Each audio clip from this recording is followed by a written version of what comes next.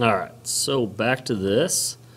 Uh, Again, so what I left off saying was that uh, translating from English into algebra, uh, this is actually one of the, one of the pieces that uh, the ACT Corporation has identified as being a particular struggle for a lot of students on the ACT test. Again, they- again, if you look at your handout, uh, again, there are, I believe, five top struggles, and again, this is one of them. I th- If I'm remembering correctly off the top of my head, I want to say was number four. But uh, again, this is something that, uh, that we definitely need to practice. So again, uh, you should fully expect that you're going to uh, have a- a- an abundance of word problems that you're going to be reading through, and then it's going to be your job to uh, turn them into the correct kind of math problem. Again, usually algebraic. So, uh, example number four that we have here, uh, it says that four students are about to purchase concert tickets for eighteen dollars and fifty cents. Um, That's how much they're gonna pay for each ticket. Then they go on to discover that they may purchase a block of five tickets for eighty dollars. So again, that means that there is a deal going, five tickets for eighty dollars. So how much would each of the four save if they can get a fifth person to join them? And the five people equally divide the price of the five ticket block, again, which is eighty dollars. So, we know that if, if each of the four friends and goes to purchase individually, they know that they're spend dollars and fifty cents. That's what's going to happen. If they were to find that, that fifth friend to uh, go to the concert with them, then they buy the five ticket block for, again, eighty dollars. But if they split that cost, let me actually write it this way, not like an idiot, but if they split that cost five ways, again, we're gonna divide it by five. You've gotta think that now each student is gonna spend sixteen dollars. So when the question comes back, how much would each of the four save? Again, from eighteen fifty, if I subtract out the sixteen dollars, they stand to save two dollars and fifty cents just by bringing in a fifth friend. So again, B would be our choice here. All right, uh, another type of problem to expect here are percentage problems. Now, I know that you've been working percentage problems for quite some time now, but there are a lot of different types of percentage problems. So, uh, one example that uh, has already been worked out for you, um, this is going to be what we consider to be an amount of increase, so like a percentage increase or decrease type problem. Uh, goes on here, this first example says the price of a certain stock rose from $60 a share to $65 a share, so what was the percent increase? And the way that we're gonna handle this, again, more than anything, the reason why we're going through this problem is to show you that we have a quick little formula. So it's gonna be the amount of the increase divided by the original amount. So as you can see here, sixty-five minus sixty shows that five is our, or I'm sorry, our, our amount of increase divided by the sixty dollars. So when we take five divided by sixty, we're gonna get one twelfth, which is gonna show eight point, basically three repeating. So, uh, eight point three three percent if we round it to the nearest hundred, that is, of an increase. All right, so example number five that we have here, uh, it says, when the bus fare increased from fifty cents to sixty cents, how much of a percent increase did it represent? So we have to understand how much did it increase. So it went from fifty cents to sixty cents. So if I were to subtract those out, this is going to go over the original amount because it started at fifty. So when we start to clean this up, my numerator again, how much of an increase occurred? Ten cent increase divided by the original. And this is where it gets a little interesting. And, and the reason I say that is because we know that there are about three ways that we could present our answer here. Uh, we could say that the answer is one-fifth, the answer is 0.2, or we could say correctly in this case, that the answer is going to be twenty percent. Again, because we're talking about a percentage increase, twenty percent would be our final choice. All right, average formula, pull this down. Uh, unfortunately, that podcast cuts off the top little bit of the, uh, the slide. Uh, so please forgive me for having to adjust that. Uh, so the average formula, again, we know how to work an average problem.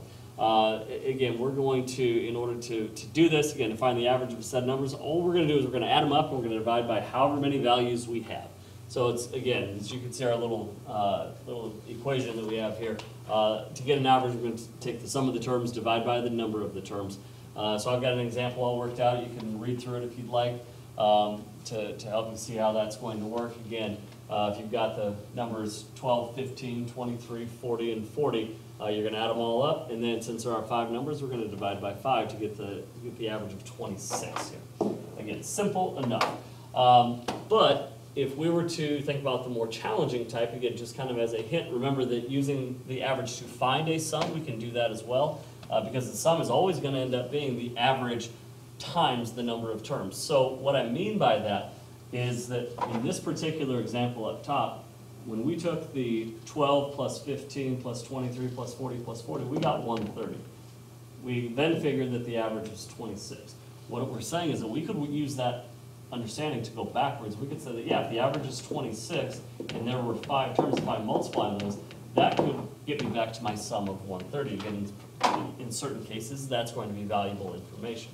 So again, another another, you know, scenario here. Uh, if the average of ten numbers is fifty, then they must add up to ten times fifty or five hundred. So, uh, here's an example in number six here that, uh, that- we're gonna have to put that into action. It says that a total of fifty juniors and seniors were given a math test. The thirty-five juniors attained an average score of eighty, while the fifteen seniors attained an average of seventy. So what was the average score for all fifty students who took the test? Now, again, this is not going to be just the simple add them all up and divide by fifty, because there's 50 50 students. Uh, we have to be a little bit more systematic here. So as far as the juniors are concerned, we need to understand that there are thirty-five total juniors. And from there, we said that the average was, that they scored was an eighty. So what that means, excuse me, uh, what that means is that if we're to take the thirty-five times the eighty, that's gonna give us an average of, to do the math here, of twenty-eight hundred. Now, as far as the senior class goes, seniors, we know that there are only fifteen total seniors. But they scored, they scored an average, a little bit lower here, their average score was a seventy. So now when I take the fifteen times seventy, again, their sum is going to be one thousand fifty. So if I know in terms of the overall sum, if I were to take the twenty-eight hundred, which was the sum for my juniors, and add that to the one thousand fifty, which is the sum for my seniors, and divide that by however many total students we had, thirty-five plus fifteen, or what we were told in the first sentence, divide by fifty, this should give us the average. So when we take the twenty-eight hundred, excuse me, plus the uh, one thousand fifty, uh, that's gonna give us three thousand eight hundred and fifty. Write the number correctly, divide that by fifty, and now we can expect to get an average of seventy-seven, which is D for our final answer. All right, guys, the elementary algebra stuff that we want to take a look at, as you can see here, we'll- I'll give you a chance to read through this as far as the type of stuff uh, that you could expect. Uh, The first problem we want to take a look at here, number seven, says that the weekly fee for staying at the Pleasant Lake Campground is twenty dollars per vehicle and ten dollars per person. Last year, weekly fees were paid for V vehicles and P persons. Uh, So which of the following expressions gives the total amount in dollars collected for weekly fees last year? So this is another one of those changing from uh, English to algebra, I suppose. Uh, and luckily, this is a pretty easy word problem. Uh, we know that we're gonna have to pay a certain amount for each vehicle, and we're gonna have to pay a certain amount for each person. And those certain amounts are also given to us that you have to pay twenty dollars per vehicle and ten dollars per person, and that's it. That's as simple as this problem is. We just have to be able to take this little paragraph and turn that into an algebraic expression.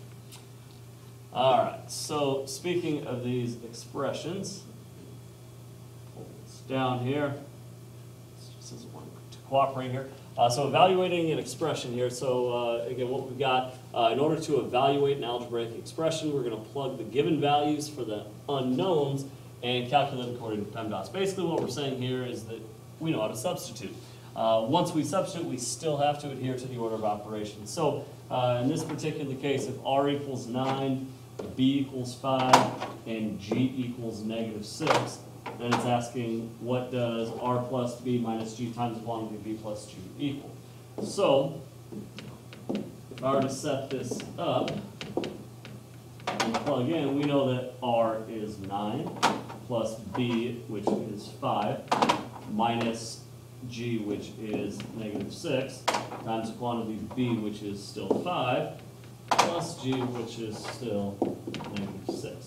So I would say you know, first things first, we've got to take care of our double signs and think about this as nine plus five plus six times five minus six. So cleaning this up, nine plus five plus six is going to be twenty. Five minus six is negative one. Twenty times negative one is negative twenty.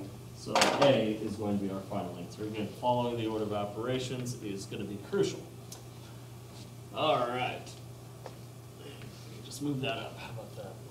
Smarter, not harder, okay. Uh, so next thing, uh, factoring is going to be something that, uh, is absolutely expected. Um, again, the, the easy type of problem, again, what's, uh, being explained here, we'll let you read through yours. Uh, again, there is going to be a pattern, again, when that lead coefficient is one, like in this case, uh, we're looking for things that multiply to positive six, but add to that middle term of negative five. So for that reason, what multiplies to six and adds to negative five, we're thinking about negative two and negative three. So that's gonna complete our factors. So, uh, again, example number nine that we have here, it's asking which of the following is a factor of the polynomial x squared minus x minus twenty. So again, following that same pattern, what multiplies to negative twenty but adds to, in this case, realize that there's a negative one in front there. So when we talk about the factors of negative twenty, again, we're talking about one and negative twenty, negative twenty and, you know, negative one and twenty, uh, two and negative ten, negative two and ten, things like that. But the one that we're gonna land on is that this is going to split again, x here, x here. And we're gonna say that negative five and positive four is going to win. So understand that we're looking for a factor, not a zero, a factor. Uh, so again, I'm looking around and I don't see x plus four as a choice, but luckily I do see x minus five as a choice. So B would be a, that correct answer. All right, reading on here, uh, simplifying square roots. So uh, to simplify a square root, we're going to, again, factor out uh, the, the largest perfect square that's under the radical and then go from there. So um, I thought number 10 was kind of an interesting problem. In fact, because it goes on to say that uh, 4 is less than root x, which is less than 9, uh, and that's equivalent to saying what about x. So um, I guess, and I don't know if I'm looking at this in an abstract way, but what if we change from having the four and the nine as integers, what if I change those to radicals? What I mean by that is four is equivalent to the square root of sixteen, which is gonna be less than root x, which is less than nine is gonna be equivalent to root eighty-one. So once we have it written this way, again, I'm checking A, B, C, D, and E as my answer choices, and I, I'm not, unfortunately, not, not finding anything. So what would happen if I simply squared everything? Now we're looking at sixteen less than x less than eighty-one, which means that we're on to something. E is gonna be our choice. All right, next, multiplying and dividing powers. So, uh, remember, these exponents, they're gonna show up. They- Again, we just have to expect that they're going to be there. So again, it's not something we panic about, it's just something that we handle. Uh, so to multiply powers with the same base, we're gonna add the exponents. To divide powers with the same base, we're gonna subtract the exponents. Again, you've got a couple quick examples up top there, uh, to show you what we're talking about. The one we're gonna do together here, number eleven. Uh, says that for all non-zero RT and Z values, we have sixteen R cubed T Z to the fifth divided by negative four RT cubed Z squared. This is one of those cases that it always looks harder than it's really gonna be. So if we were to start with the integers and we were to take the sixteen divided by negative four, I know that that answer is going to be negative four. Now we just have to understand that, okay, the sixteen was larger, so my, uh, solution, in this case, my quotient is gonna go in the numerator. Uh, doing the exact same thing with the r, so again, probably to overdo this problem, understand that that's r to the first power. Um, so again, I have common bases, I'm gonna subtract them, so r to the three minus one, you'll notice that I'm putting that in the numerator because I had more in the numerator. Uh, working with the t's now, uh, I have t to the first over t cubed, so now this is gonna be t to the three minus one. Notice I'm putting that in the denominator because I had more to begin with in the denominator. Uh, z to the five minus two, uh, again, putting that in the numerator because we had more z's up top. So to complete this, we, we are going to say, excuse me, that I have negative four, r to the three minus one is gonna be r squared, z to the five minus two is three, over t to the three minus one, which is two, is gonna be my final selection, which is saying that B is my final answer. All right, next problem. If I can click over, there we go. Uh, actually, I'm gonna stop the podcast here because we're gonna go ahead and get going with that intermediate algebra piece next. Um, so again, let me upload this part of the podcast. We'll start another one here shortly.